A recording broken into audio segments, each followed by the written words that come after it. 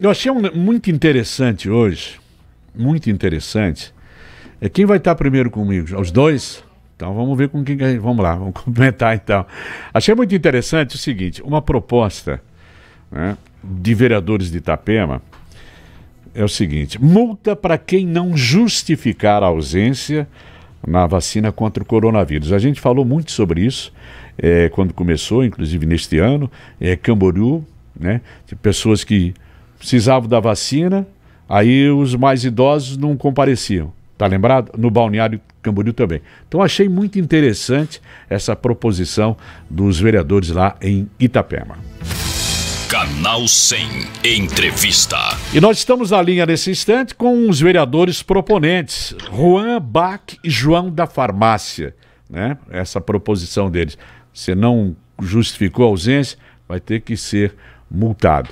É, eu não sei quem vai responder primeiro. Boa noite, vereadores Juan Bach e João da Farmácia. Prazer ouvi-los, tê-lo na edição do Canal 100 da Rádio Menina. Tá tudo bem? Boa noite, Tigrão. Boa noite, ouvintes da Rádio Cidade. Quem fala aqui é o vereador João da Farmácia. O vereador Rambach está aqui do lado também. Boa noite, Tigrão. Boa noite, ouvintes da Rádio Menina. Prazer estar com vocês.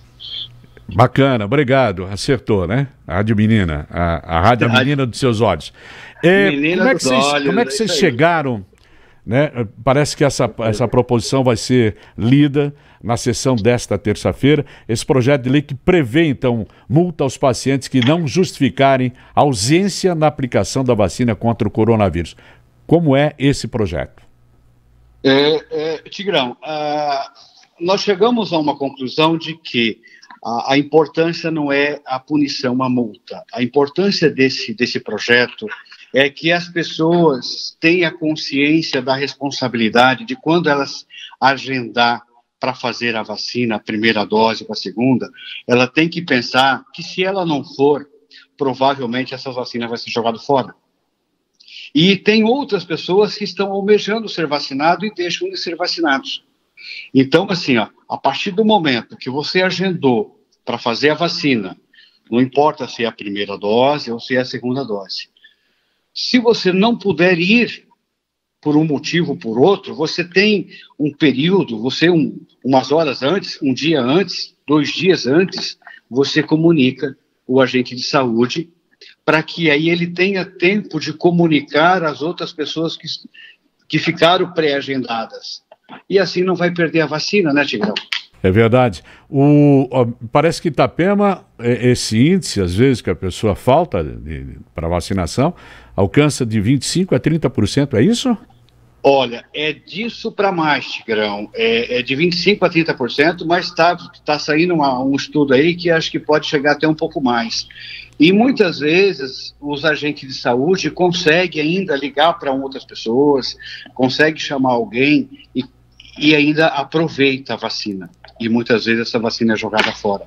Nós já temos uma demanda muito pouca de vacina, você sabe disso, que já vem contadinho, entendeu? Não, não, não temos vacina para todo mundo. Então, assim, a importância desse projeto é que as pessoas assim tenham uma consciência. Ninguém é obrigado a tomar a vacina, mas uma vez que ligou, agendou, ela tem o compromisso e a responsabilidade de comparecer na unidade básica de saúde para que seja vacinado. Se não puder ir, ligue, peça para alguém da família ligar ou mandar uma mensagem porque aí os agentes de saúde vai ter tempo de chamar outra pessoa que está pré-agendada.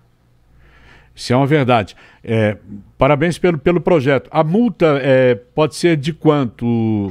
É, é unidade fiscal do município, é isso, vereadores? É, é, a multa é quem vai, quem vai estipular, quem vai é, é, agir nessa parte da multa é o executivo. Sim. Entendeu? Aí vai caber o executivo é, é, é, criar uma forma e o valor dessa multa. Não compete nós do legislativo. Perfeito. E deixando tá? bem claro, né? Você, é. eu não quero tomar vacina. Eu, eu recomendo e quero que todo mundo tome a vacina. Mas você não vai, mas aí você agenda, você é obrigado. Na minha opinião, concordo com os senhores é obrigado, tem que ir, né? Tem muita gente esperando a sua vaguinha e não consegue, né, vereador? Claro, claro, claro. Meu amigo Tigrão, eu vou passar a palavra para o vereador Rombach. Muito obrigado tá, por estar nos ouvindo. obrigado aos ouvintes da Rádio Menina, tá? E qualquer dúvida a gente está à disposição de vocês. Obrigado, tá vereador. Um abraço, tá? Um grande abraço, boa noite, Deus abençoe. Juan Bach está contigo agora. Boa noite, Juan. Obrigado por, pelas informações e, sinceramente, esse, esse, projeto vai ser tornado de conhecimento na reunião de hoje, né? Parabéns pelo projeto, tá achei interessante, viu, viu Juan? É, é bem importante, porque conscientizar as pessoas que fez o cadastro, ela tem que tomar vacina. Assim não está tirando a vaga de alguém que já está aguardando e não conseguiu essa agenda, né? Perfeito. Vai conhecimento dos, dos nobres edis hoje, na sessão de hoje?